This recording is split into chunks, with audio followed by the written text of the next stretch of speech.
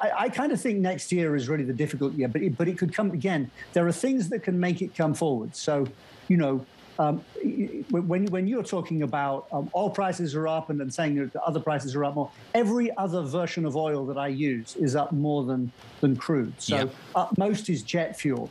Um, diesel's up a lot. Heating oil's up a lot. You know, so they're all they're all up by more than crude. So if we get another push higher in crude, it's going to really hurt.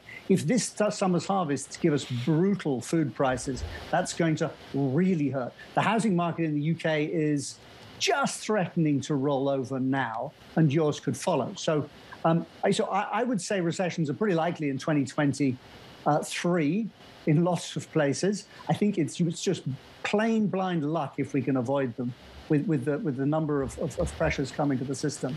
Um, but Europe is, is right in the firing line. That's really the problem.